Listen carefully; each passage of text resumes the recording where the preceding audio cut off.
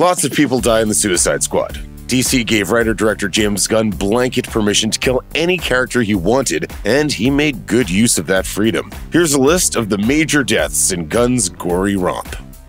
Blackguard, Captain Boomerang, TDK, Javelin, Mongal, and Savant all die in the beach assault. This is the first version of Task Force X assembled for the movie, and they all die like jabronis in the first 15 minutes. Blackguard sells his squad mates out to the hostiles, and his reward is getting his own face blown off. Almost everyone else on the beach dies from some variation of being shot and or blown up. Savant is an exception. His cranial bomb is detonated by Amanda Waller after he tries to run away from the mission. During a press event Warner Brothers held for the Suicide Squad, actor Juan Diego Botto said, the character that I play, General Silvio Luna, he is the new ruler of this Corto Maltese island, and he is obsessed with two things his collection of rainbow lorikeets and Harley Quinn. And those two obsessions will determine his fate eventually. He had to play it a little coy at the time with the last bit, but we have no need for coyness now. Silvio Luna dies in the Suicide Squad. Silvio specifically seeks out Harley Quinn and brings her to his palatial estate, where he says he sees her as the embodiment of American rebellion. Upon spending a single glorious day with Harley, he proposes marriage and lays out his plans for rule. Unfortunately for him, mentioning that those plans involve killing civilians and children is too much of a red flag. Harley shoots Silvio, explaining that after her past relationships, she just can't handle certain toxic elements. DC Comics character Ratcatcher's appearance in the Suicide Squad is brief and exists entirely in memory, but it's accurate to say that his character, played by Taika Waititi, dies in this movie. We learn his story during a flashback. Cleo, aka Ratcatcher 2, and her father grew up on the streets of Portugal, aided entirely by his father's ability to communicate with rats through technology. The rats were able to provide them with anything they needed. Unfortunately, he was also a drug addict and died of an overdose. This death led Cleo to take his rat wand and also his name.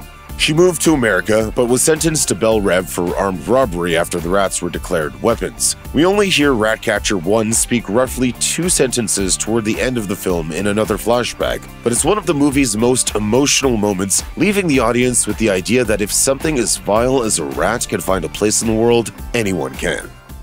No death in the Suicide Squad comes as a bigger shock than that of Rick Flag. It's his nobility that does him in when he discovers the depth of the US government's involvement with the captivity of and research into Starro. He decides to take a hard drive and tell the world. Waller, however, has known about this all along and has a backup plan Peacemaker. She gives Peacemaker specific instructions to make sure the information didn't leave the facility. Flag and Peacemaker fight and are for the most part evenly matched, at least until Peacemaker manages to fatally stab Flag in the heart. The only unambiguous hero in Task Force X dies, but not before alerting Peacemaker that Ratcatcher 2 saw the whole thing.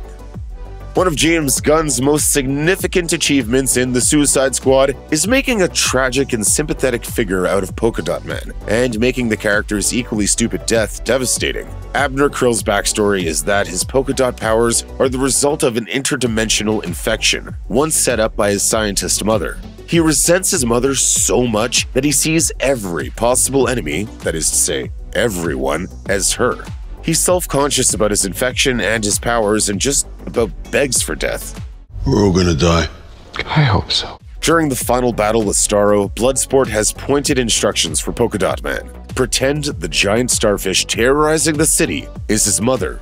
Krill manages to inflict massive damage with his polka dots. He does throw polka dots at people. But just when he's finally feeling confident about his powers, his abilities, and his place in the world, he gets crushed literally. The Thinker is the foremost expert on Starro, having conducted research on the giant alien mind controlling starfish for years. He makes an uneasy alliance with the new regime on Corto Maltese after the coup. Both of these things lead to this death, one inevitable as it is brutal. Task Force X captures the Thinker and escorts him to Jotunheim. While there, Task Force X sees Starro for the first time and, just as damningly, all the people Starro controls. The Thinker reveals Starro's origins, the research he spent decades conducting, and the fact that the US was in on it all along. After Jotunheim explodes, Starro is freed, and his first order of business is dealing with his captor. The Thinker begs for his life, but it's no use as Starro rips the scientist limb from limb. Poor, poor Milton. He isn't a hero, he isn't a villain, he isn't even an anti hero. He's just some dude. He gets swept up with Task Force X and drives them from point A to point B, albeit with more than a few unplanned stops between A and B. He even helps with several of their schemes, up to and including planting bombs at Jotunheim. During a firefight on the upper floors of Jotunheim, Milton gets killed in the crossfire. To add to the indignity of his death, some of the team doesn't even know he's with them. They assume he's back at the van. Harley, meanwhile, can't remember Milton's name, at least until she sees the body. The perils of being just a normal guy in a world of metahumans. General Mateo Suarez isn't just the right hand man for Silvio Luna, he's the muscle. A respected and feared military leader, he also has his own leadership aspirations and functionally takes control of the government after Luna's death. He's shown to be far more brutal than Silvio, but he gets karmic payback and a half for everything he's done. When word reaches him that Task Force X is at Jotunheim, he personally leads the army assaulting the tower. He and his men survive the explosion, but they don't survive Starro. Finally free, Starro kills or mind controls almost the entire Corto Maltese military, including Suarez, who learns the hard way not to mess with intergalactic starfish. He dies like the rest of his men confused and despondent, as the secret his government hid stops being a secret in the least subtle way possible an intergalactic starfish, and also perhaps the most dangerous evil force in the DCEU. Captured by astronauts who only found out about his mind control ability after he spit some offspring at them, Starro was brought to Earth for research. Understandably, being kept in captivity for decades leaves him with something of a grudge against humanity, on top of his already existing conquering urges.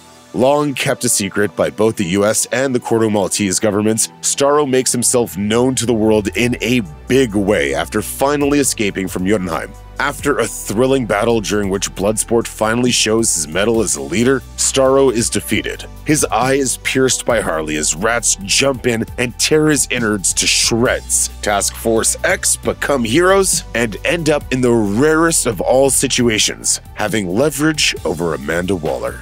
Check out one of our newest videos right here, plus even more Looper videos about the Suicide Squad are coming soon. Subscribe to our YouTube channel and hit the bell so you don't miss a single one.